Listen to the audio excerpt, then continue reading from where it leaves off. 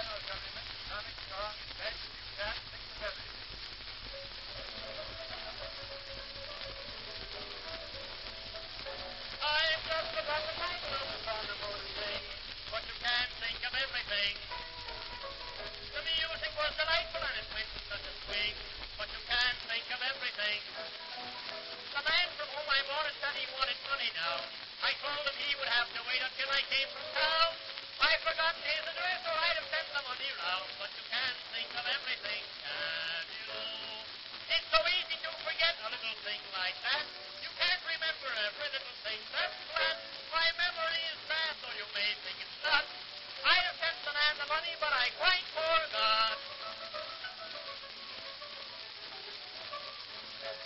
It's funny how the ladies